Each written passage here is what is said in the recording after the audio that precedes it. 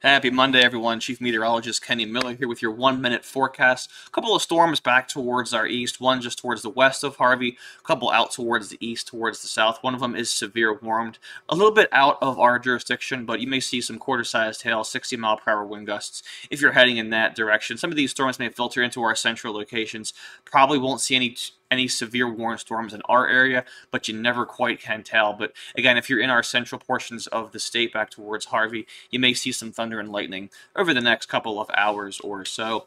Temperatures right now holding steady in those 80s for a lot of us. It's a bit cooler back to where those storms are, seeing some mid 70s up towards the Harvey area, and of course, a bit warmer out towards the far west where Wolf Point is still sitting at 92.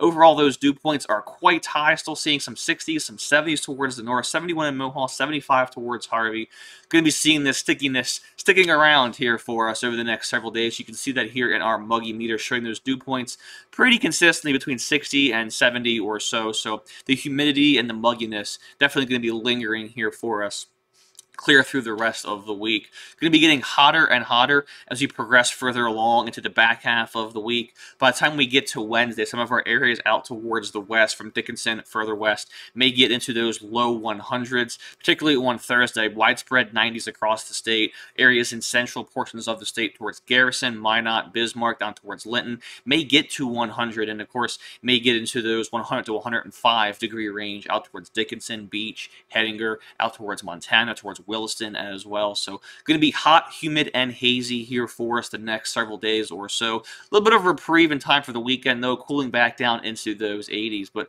we'll have more details on your fair forecast. And uh, if there's any potential changes for storms later on this week, coming up on KX News at 9 and at 10.